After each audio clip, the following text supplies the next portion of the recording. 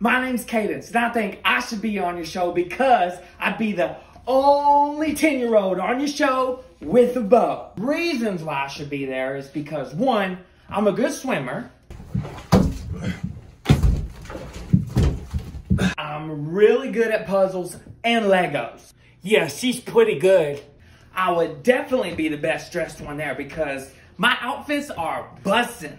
I'm really good at finding things because when I play hide and go seek with my brother, I always find him. Yeah, she's not lying. She finds me every single time. I'm really good at riddles too. Roses are red, violets are blue. I'll come to Treasure Island and I won't disappoint you. Cadence, that's not even a riddle, honey. It's the same thing. How would you feel about being away from us for 14 days? Me, your brother, and your sister? I'd feel great. I'd do anything to get away from Eli.